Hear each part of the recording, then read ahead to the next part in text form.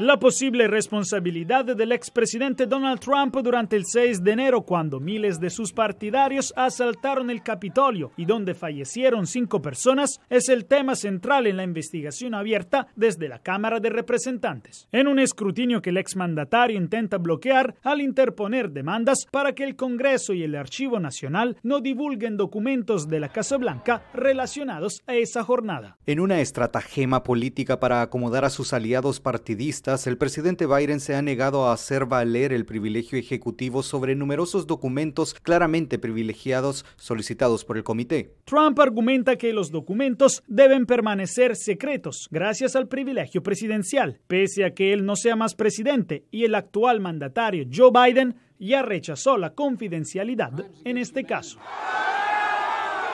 Se prevé una batalla legal para definir el alcance de la investigación legislativa sobre el papel de Trump en los disturbios de enero.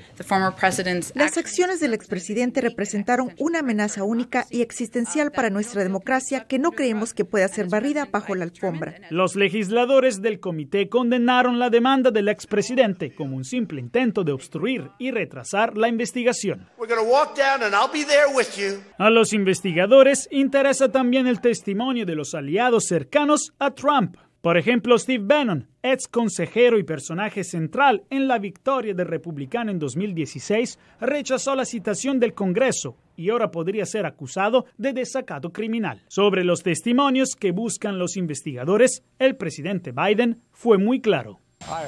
Espero que la comisión se encargue de ellos y los responsabilice por lo que hicieron. La inusual medida sobre Bannon tiene la intención de enviar un mensaje severo a otros aliados del expresidente a quien el comité quiere interrogar. Hasta ahora Trump ordenó que no acepten ninguna citación. La batalla legal por los documentos sobre Trump y el cargo criminal para Bannon revelan lo que está en juego ahora, la capacidad de una rama del gobierno de ser separada e igualitaria para hacer que la presidencia rinda cuentas ahora y en las generaciones futuras sobre sus acciones. Desde Washington, Jacopo Luzzi, Voz de América.